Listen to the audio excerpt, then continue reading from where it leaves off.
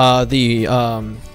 the American cheese, I guess, and then I have uh, potato wedges with a little bit of um,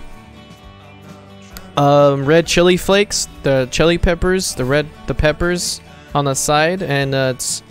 simmered with somewhat of the same burger oil a little bit to give it that pizzazz of the seating. So it's like, ooh, like that's gonna be yummy as fuck.